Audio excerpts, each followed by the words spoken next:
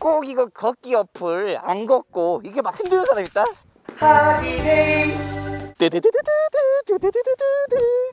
아니 요즘 같은 시국엔 이렇게 걸어줘야 돼 핫둘 핫둘 핫둘 근데 이렇게 걸으면은 돈이 생긴다? 지금 오프닝밖에 안 했는데 벌써 561보를 걸었어요 이야 이게 말이 돼? 아니 우리가 그냥 걸으면 아무 의미가 없어. 하지만 만보시로를 키고 걷는다. 그러면 이거 돈 버는 거거든. 만보를 걷는다. 그러면 100원인 겁니다 100원. 한 푼 두 푼 이렇게 모으면은 그걸로 뭐 커피도 사 먹고 짜장면도 사 먹고 맛있는 거 먹고 먹고 먹고 그리고 사이도 찌고 다시 먹고 뭐 그런 거죠.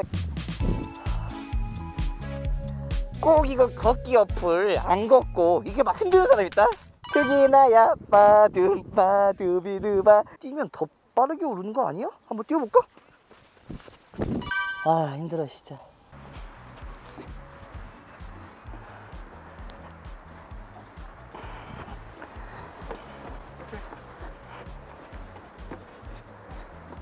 하루에 내가 만 보씩 걸으면은 이게 한 달이면은 3,000원, 1년이면은 36,000원, 4인 가구 기준이면은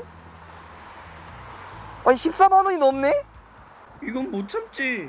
드디어 제가 만보를 걸었습니다. 하디네. 걷기 어플들 보면은 걷고 광고 뜨고 걷고 광고 뜨고 걷고 광고 뜨고 그런데 우리 만보실은 그런 게 아니에요. 아니 잠깐만 내가 여기 출연했다고 해서 만보실을 칭찬하는 게 아니라 만보실은 이거는 광고가 없다.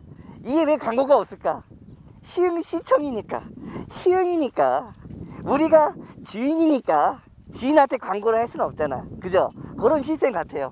나 이거 모내기나 조금 한, 한번 하고 갈게. 요거 그림 좋다